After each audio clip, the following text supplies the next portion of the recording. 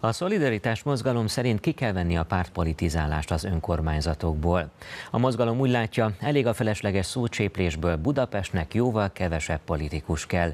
Végre legyen idő és pénz a lakhatási válság felszámolására, a gerjesztett közlekedési káosz felszámolására, a rozsdaövezetek hasznosítására, a lakosság életkörülményeinek a javítására. Jönnek a részletek. Kata. Így van, köszönöm szépen. Székely Sándor, a Szolidaritás Mozgalom elnöke a vendégem. Szép jó napot kívánok, jó reggelt! Jó napot kívánok, üdvözlöm a nézőket! Mindjárt beszélünk erről a pártpolitikai kérdésről, de azért engem most egy kicsit elsőként az érdekel, hogy hogy sikerült a kampány, mit lát azért így már három nappal a választások előtt azért egy összegzést lehet mondani arról, hogy sikerült-e, úgy sikerült-e, úgy tudták-e megszólítani a választókat, ahogyan azt önök tervezték? Abszolút sikeresnek értékeljük a kampányunkat, elképesztően büszkék vagyunk arra, és innen is köszönöm mindenkinek, aki ebbe a kampányba beleállt, segített, akár jelölt volt, akár aktivista, hogy, hogy egyáltalán ezt csináltunk, két éve készülünk erre a választásra, szigorúan közpénz nélkül, gyakorlatilag itt egy olyan csapat állt össze, országosan egyébként nem csak Budapesten, akik, akik azért dolgoznak egyébként most már évek óta, hogy másoknak jobb legyen, és azt mutatjuk be a magyar választóknak, hogy lehet ezt úgy is csinálni, hogy nem költjük el az ő pénzüket, adófizetői pénzt, vagy nem kérünk tőlük pénzt azért, hogy mi csinálhassunk valamit, hanem a saját munkánkból, a saját munka mellett, a saját időnkből dolgozunk azért, hogy másoknak jobb legyen. Szerintünk ezért van értelme politizálni, és így, így kellene az egész politikának hozzáállni ehhez főleg az önkormányzatiságban. Úgyhogy számunkra már az is elképesztően nagy dolog, hogy Budapesten hét kerületben van polgármesterünk, van fővárosi listánk, Biatorbágyon, Sziget-Szent Miklóson, Bátony, Terenyén, Ózdon és egy csomó kisebb településen is el tudunk indulni. Tehát mi, ez egy nagyon pozitív ügy, és azt látjuk, és azt érezzük, hogy egyre nagyobb a szimpátia, úgy általában a civilek felé is, de hát felénk is, és bent leszünk az önkormányzatokban. Az más már egy, az a kérdés, hogy, hogy ez milyen szinten lesz, kerületenként egy vagy két képviselő fővárosi önkormányzatban, hogy fogunk teljesíteni, de mondom még egyszer, hogy nekünk már mi már, mi már, mi már pozitívba vagyunk, és nagyon-nagyon várjuk a végét és a szavazatokat, és hát kérjük is az embereket, hogy menjenek el szavazni, és hát szavazzanak a, a, a, a szolidatás mozgalom jelöltjeire. Tehát, hogyha jól értem, akkor két év kemény munkájának a gyümölcsét szeretnék megvalósítani, amennyiben úgy jutnak be, bejutnak. Miért szeretnének a közgyűlésbe bejutni? Hogyha hát mindegyik közgyűlésbe azért akarunk bejutni, hogy az adott településnek, kerületnek jobb legyen. De a fővárosi közgyűlésben van egy, egy, egy nagyon fontos dolog. Ugye ez a város 34 éve a pártok fogságába esett, az összesében párthovatartozás nélkül így gyakorlatilag arról van szó, hogy pártkifizetőhelyek lettek a kerületi, meg a fővárosi közgyűlés is. Egy kettős rendszer van Budapesten, van a 23 kerület, meg a fővárosi önkormányzat. A kerületekben is a pártok egymást gyilkolják, attól függ, hogy ki van éppen hatalmon a kerületben, ki az ellenzék, azt tovább gyűrűzik a fővárosi közgyűlésbe is. És persze természetesen az adott szituációban megy a harca kormányjal is. Szerintünk ez végtelenül káros, több okból is. Egyrészt a politikai csatározásokra megy el idő, másrészt 100 milliárdok mennek el évente ennek a rendszernek a föntartására, ami egyébként akadályozza a munkát, hiszen ezek a szervezeteknek nem, nem jó, hogyha valaki jól teljesít, mert akkor az politikailag neki, neki nem jó, és inkább megakadályozzák egymást a munkában és hát így történik az, hogy 40 éve nem készül el új palotáig a hármas metró, hogy 30 éve nézzük a rozsdövezeteket, hogy 50 éves szerelmények járnak a héven, hogy lakhatási válság van, hogy közlekedési káosz van, ez mind ebből van, és ebből politikusok százai, ezrei kerületekben, a felső közösségben elképesztően jól élnek. Szerintünk ez vállalhatatlan, át kell alakítani ezt az egész ügyet, ezt az egész konstrukciót, és mi azért akarunk azért is akarunk bekerülni a fővárosi közgyűlésbe, hogy ezt a munkát elkezdhessük, és a következő öt évre, amikor ráfordulunk, addigra egy egészen más rendszerbe lehessen szavazni a fővárosban. Hogyha ez az elmúlt évtizedekben működött, jól, kevésbé jól ön szerint nem működött, most azt gondolják, hogy önök elegek ahhoz, hogy ezen tudjanak változtatni, vagy valamit el tudjanak indítani?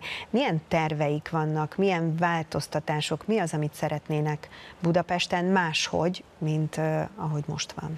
Hát nézd, az elmúlt 34 évben nem, vagy alig történt valami. ahhoz, tehát nyilvánvaló, hogy itt, itt, itt akkor az egésszel van probléma. Tehát ahhoz, hogy akkor bármit is lépni lehessen, amit a többi listavezető politikus társam mondanak fantasztikus dolgokat, némelyikkel egyet is értünk, de nem lehet megcsinálni őket, már 34 éve nem csináljuk őket, tehát nyilvánvaló, hogy változtatni kell a berendezésen.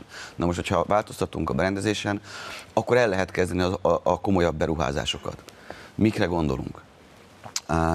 Hogyha a közlekedést nézzük, egyetértünk azzal egyébként, hogy csökkenteni kell a belváros forgalmát, de ahhoz, hogy fölfessük a bicikliutakat, szerintünk el kell végezni azt a 10-15 éves munkát, hogy 80-100 RP plusz parkolót kell létesíteni az ország, a fővárosba, meg kell oldani az onnan való közlekedést, ki kell építeni a már ezzel előbb említett metró, meg hívvonalak felújításokat, nem ártana pár elkerülő út, meg kell oldani az agglomerációból ideérkezőknek a, a, a, a, a menedzselését a BKK-n.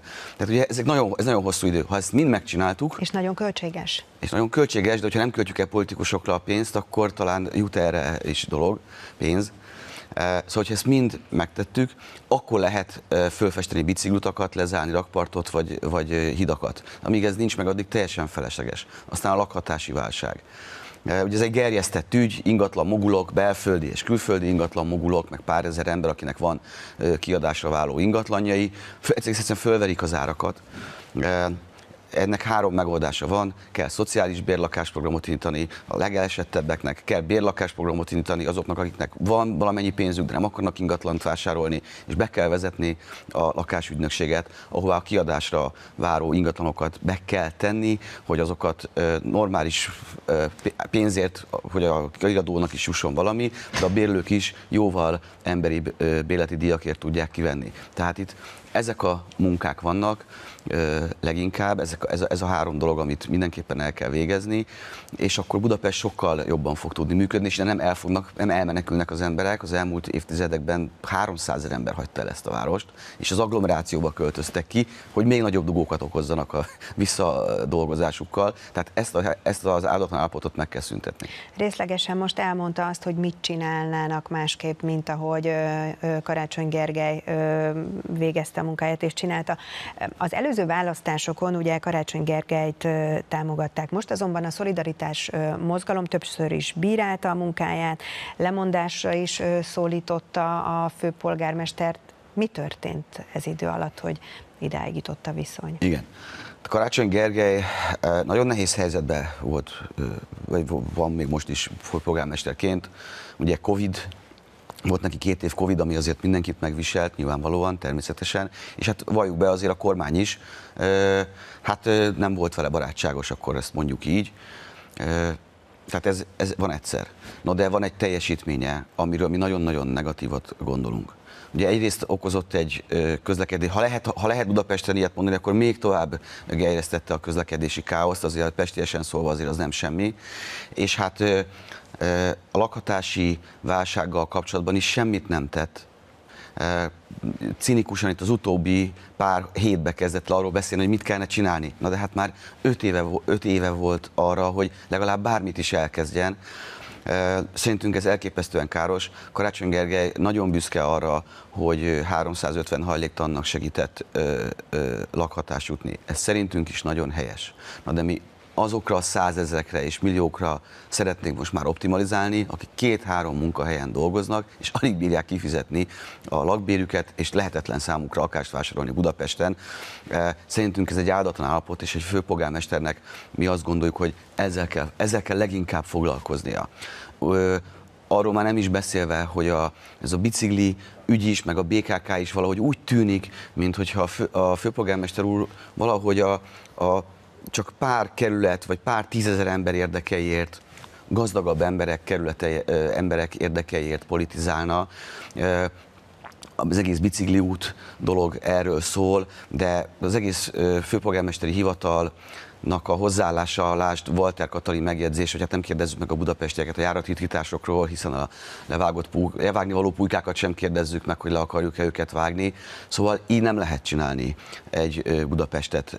Egy falut sem szabad így vezetni, de én azt hiszem, hogy kikérjük magunknak ezt a hangnemet a lakosság nevében is, és nem szabadott volna a helyén hagyni egy ilyen megszólás után, senkit sem egyébként. Karácsony Gergely azzal, hogy helyben hagyta ezt a mondatot, gyakorlatilag magára vette, hogy vezető szerint ezt lehet mondani. Nem lehet ilyet mondani. És látszik is az egész kormányzásán, amit a fővárosban van, hogy ez nagyjából egy ilyen hübrisz van benne, egy ilyen gőg az emberek felé.